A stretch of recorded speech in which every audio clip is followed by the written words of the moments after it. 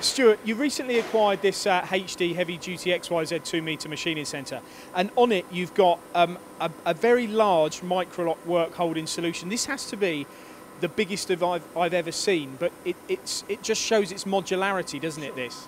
Yeah, it's uh, four individual plates, but you can build them up as large as you like, and they hold the tolerance, and it's very, very accurate. And, and is that the biggest thing for you, the fact that they hold tolerance, or is there any advantage to you in how quickly it enables you to set your products on here?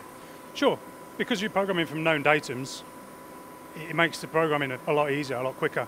Uh, we gain advantage by keeping a lot of flatness on our other machines. We use magnetic beds, and it causes us a problem on this with a MicroLoc. We can get a dead flat, first face to work from.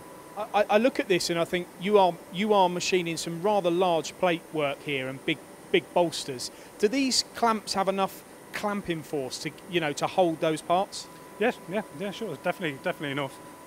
Because you because you even hold on quite small amounts as well, don't you? Yeah, we do. Yeah, yeah. We have got the uh, the jaws that go on the front as well, so we can hold to the full depth of the bed.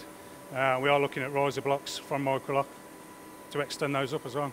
And for those people that hadn't seen how the MicroLoc system works, could you just maybe explain, you know, like for example, you've got locators here and clamps and, and how it all goes together? Sure. It works from a, a fixed clamp that can be moved across known datums on, on the bed. And it also, we use these clamps. That is, that, is that your locator? Is that the main accurate, where the accuracy comes from? Yeah, these are fixed. The clamps move, these are fixed. And because it's modular, we could put another clamp facing the other way and put more multiple parts on and build it up across the bed.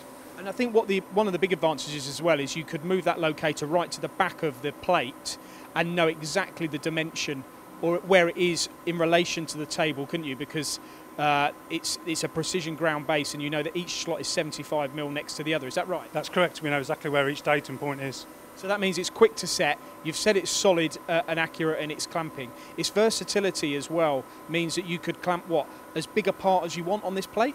Pretty much, yeah. And you've opted to have this base plate in the is there six different plates here? There's four on this four different plates. So you've got four plates here that are basically bolted next to each other. Do you ever envisage taking them off? Uh, no. Let's let's finally look at return on investment, Stuart, because you, you've you've invested heavily not only in the machine but in the work holding as well. You must have had to have put together some kind of uh, cost saving proposal. Is there a job that you could give us an example as to how much faster it is with this? Sure, we do one particular large plate that's precision ground, and before we had we didn't have the capacity to machine one face in one go, so there was a lot of flipping them over and trying to match it all up. With this machine, we can get a good flat face. Uh, first time, not a problem. We can leave less on for grinding. Uh, the cycle time is reduced overall from eight hours down to 40 minutes. So, so a massive saving. Then, how many vices have you actually got with the machine as well, and locators? We've got 10. 10, 10 vices and five locators at the moment. And do you ever uh, do you use the soft jaws or the hard jaws or serrated jaws as well? Because I know they're adaptations you can add to the MicroLoc system. Yeah, we've, we've used every every every sort of voice and jaw we've had with it, we've used already on various different different and parts.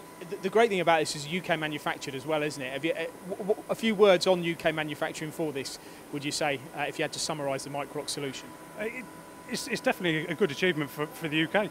It is. Um, it's good to see engineering picking up as well as it is in the UK. And uh, it's also good to see a lot of females now coming up in the engineering. I've actually got a female that works this machine. So. Does she use a MicroLoc? She uses the MicroLoc, she programs it, and she's, oh, she's not even 20 yet, but